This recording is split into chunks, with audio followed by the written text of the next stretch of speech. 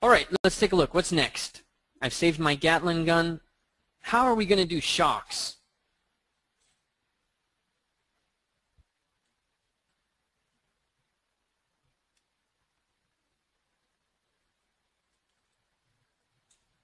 Shocks are pretty easy, right? It's just basically two cylinders. So let's set this to, I think, a 15 and a 15. I'm going to set this to a 20. There we go. And uh, I'm not going to taper anything. I'm going to leave it pretty much as is. Um, we don't need an inner radius on this shock. So that's it. We're going to make a poly mesh, select, I'm going to press Control Shift, pull that guy in, and then I'm just going to go to deformation, size, and I'm going to decrease the size. And then I'll just press Shift and move that back. If I want, I can always drag this out, press Shift, and then expand it.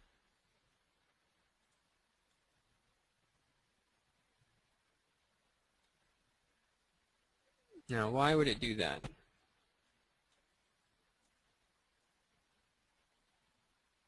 Go into our cylinder. Let's redo it. Got my measurements wrong. Make poly mesh. Okay, I'm going to go move, drag this out. Control Shift, deformation, decrease the size, move that out.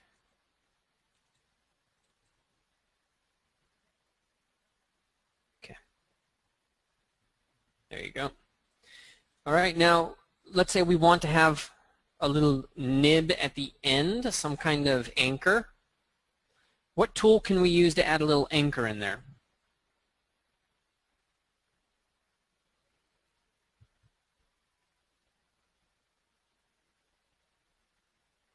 Yeah, we could use a ring, so we could actually append something.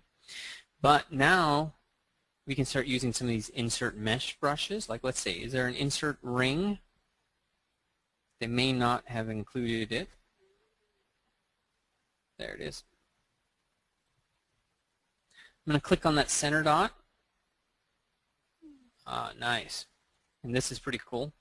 We're not going to use that right now, but that can be quite useful. I'm going to sync it.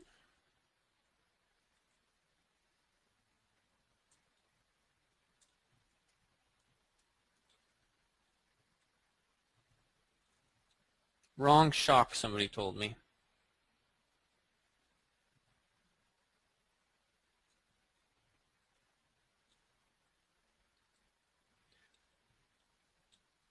perspective is off. It's making it look flat.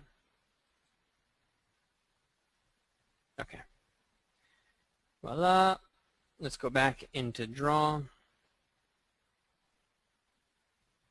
I also want, in this particular case, I'm going to do something different. I'm going to come in and I'm going to select curve, Tri, fill.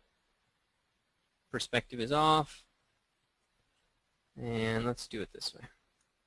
And what I want to do is just kind of create a some kind of bridged item.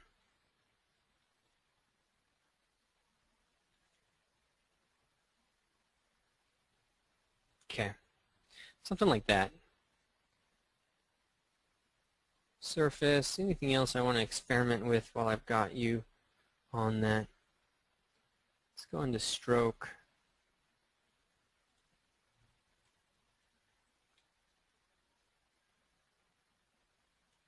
Now, let's do this.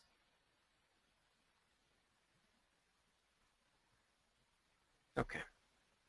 There we go. A little harder. So let's go 0.5. I'll illustrate what I'm doing. I just wanted to test it out. You can see I drag out a line, come this way, drag back, and then it automatically closes this part. A little soft edged in there.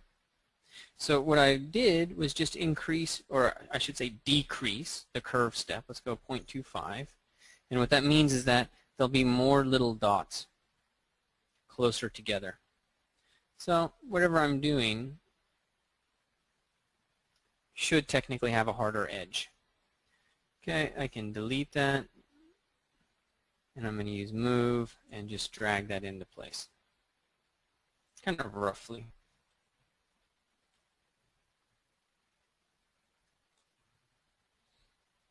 Would be nice to get a hole in there. Am I in the same subtool? Yeah. So I'm going to go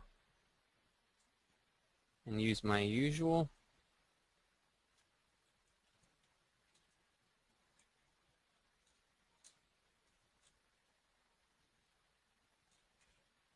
There we go. Geometry, delete, hidden. So, you know, there's a lot of this back and forth and real simple process uh, that you'll see me doing. Let's drag this out, press shift, drag that out, press shift. Okay. And then I'm going to go stroke and just delete those curves because I get kind of nutty about that. All right, two different ways to do it. Okay, and there's, like I said, other ways as well. There's a lot of options that you've got for doing stuff like this. We could extract even some of these shapes. Uh, let me check in with you guys real quick.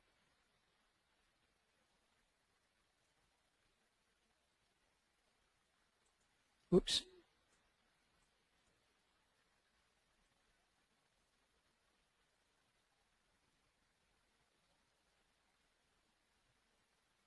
Okay.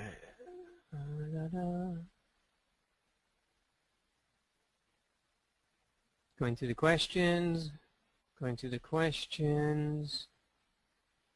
Okay, Thomas had a question. If Dynamesh is best used for organic forms like characters and you have a character with hands, surface elements built in, what's the process for integrating both the organic with the hard surface? Given that you said even using pro project, well, there's a couple, it's not that Dynamesh is best for organic. Um, it's that it's best for the base shape. And this is really, this is something Pixologic, it, they don't say it, but this is something that they kind of, uh, internally they, they stress. Dynamesh is for your basic shape um, for the most part. Now, when it gets into hard surface, things get complicated. And what they really want you to do for hard surface stuff is just start ramping that resolution up. So if you lower this and you start using Dynamesh at 32, you're working with soft forms and you're creating the base mesh. If you raise this, well, you can now start to get past that and you can start doing hard surface stuff. And since we already know that there is another topology option, Z-remesher, when we are sculpting hard surface, we don't really care how many polygons there is, except for our, our polygon ceiling. So I'm going to Dynamesh this right now. These are all separate. In fact, let's do this. Uh, I want to do it another way. I'm going to Dynamesh, I'm going to polygroup these guys specifically. So I'm going to go uh, auto group. I want to see these two together. So I select this guy, control shift click and drag, select that guy. I'm going to polygroup these as the same, control click and drag, and polygroup these the same. Then I'm going to go into Geometry Dynamesh and Groups is on. So that means that this will be one object and the green will be another object. I'm going to have Project on in a real high resolution and I'm going to Dynamesh.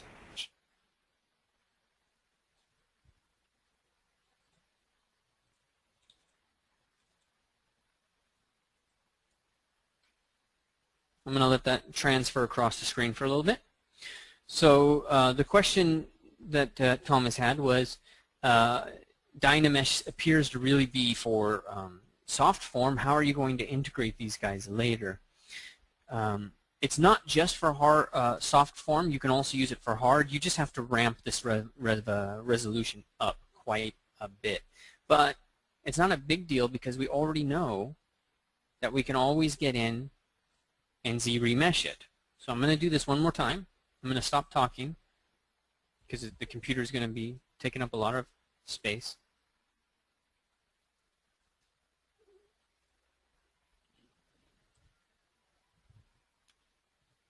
And really hone in. It's This might take a minute, so give it a minute.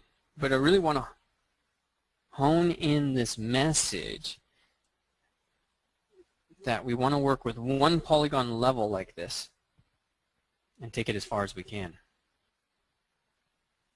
And then let ZRemesher do what it does best.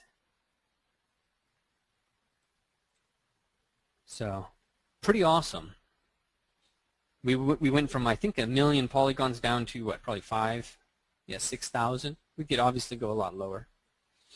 Um, but now we've dynameshed this so that they're all together. Now we can do things like put in the welding beads.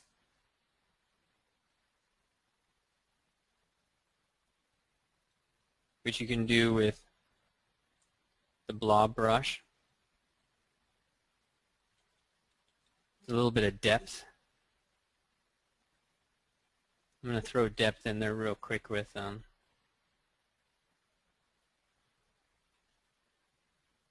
clay brush and then just pull that up. But there you go. You got a little welding bead in there. Did we have a lazy mouse on? No. Let me show you something. Lazy mouse, and I'm going to increase the step.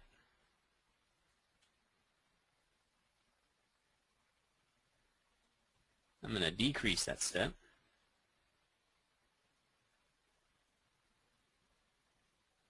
And it'll make it a little bit more mechanical in terms of its edging. Tiny deal. But there you go.